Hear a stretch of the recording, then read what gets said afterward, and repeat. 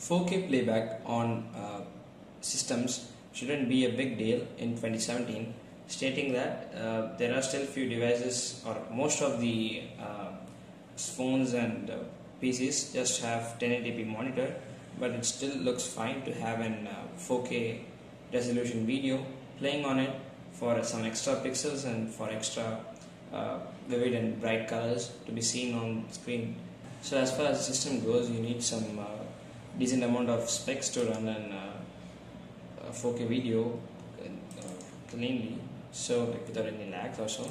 Like uh, still, uh, my my PC rocks an Intel i5 6th generation, clock rates of 2.8 gigahertz, and coupled with 8 gigs of RAM, and it should actually work fine with any 8K video to play. But if you actually see, uh, playing 8K video isn't uh,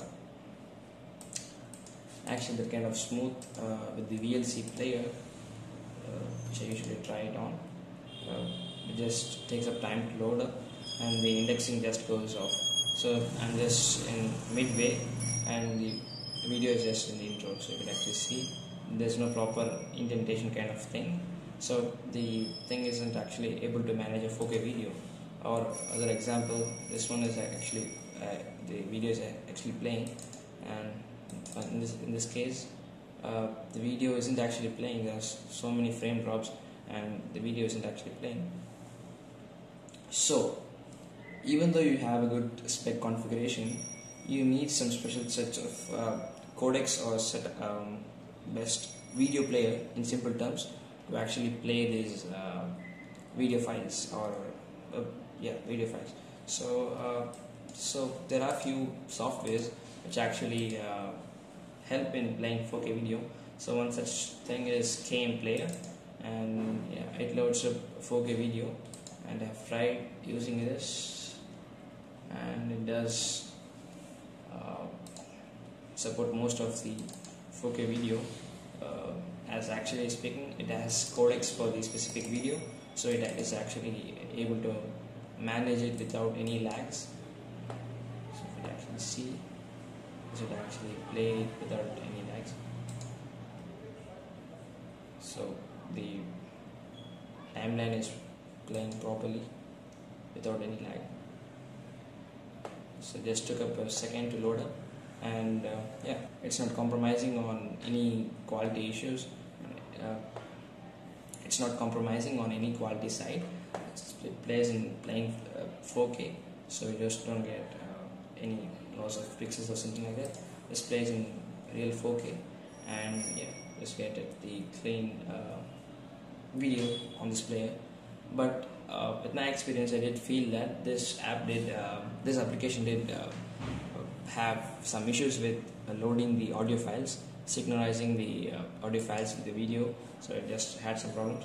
So there's another uh, application that's the 321 media player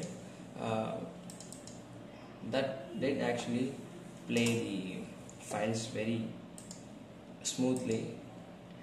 And I did feel that uh, audio audio setup was also fine with the video uh, playback. So yeah.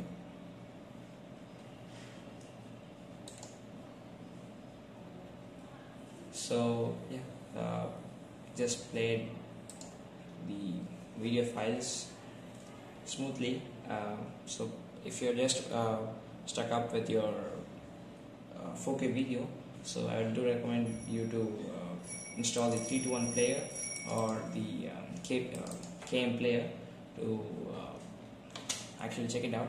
And I will leave the links in the description below for us for these applications. And apart from these there's another application that is the let's DivX player and that just loads up the files codecs from the internet whichever uh, file it requires. So that was also an amazing application. And yeah, that even that tool is worth try. But still that that's a paid app. And you need to pay uh, to play to uh, pay to get the app. So yeah that's it for this 4k uh, play to how probably how to play 4k videos. And this, these are my tips for it. So yeah thanks for watching